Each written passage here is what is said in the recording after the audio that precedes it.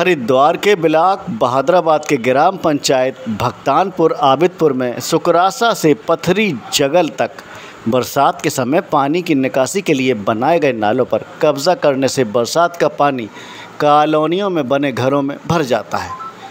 पटरेश्वर महादेव मंदिर के महंत पूर्णागिरी ने बताया कि सुकरासे से पथरी के जगलों तक लगभग ढाई किलोमीटर के आसपास है।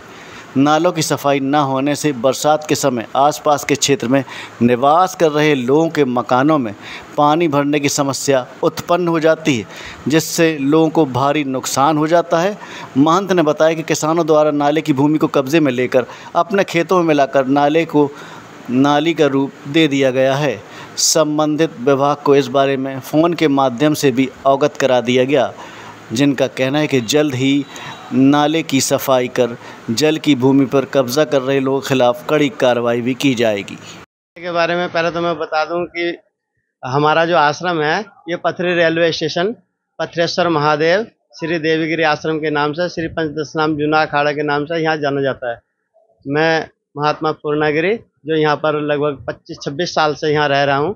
तो मैं देखता हूँ कि शुक्रास्य का जो पानी निकासी है नाले की ये लगभग शुक्रास्य जोड़ से जंगल तक दो ढाई किलोमीटर के आसपास है, जो लोगों ने खेतों में एक सारा किया हुआ है और पानी की निकासी बंद हो गई है, जिसके कारण हर साल लोगों के घरों में पानी भरता पूरी सैनिक कॉलोनी है, हमारा आश्रम है, यहाँ पर पूरा पानी भरता है और उसके बाद पटवारी, कानूगो वगैरह आते हैं। यहाँ दो दो हज़ार रुपये के चेक घर वालों को देकर जाते हैं। उससे अच्छा मैं चाहूँगा कि नाले की अच्छे से सफ़ाई, जहाँ ये नाला बनता है, वहाँ सफ़ाई हो जाए, जेसीबी के द्वारा।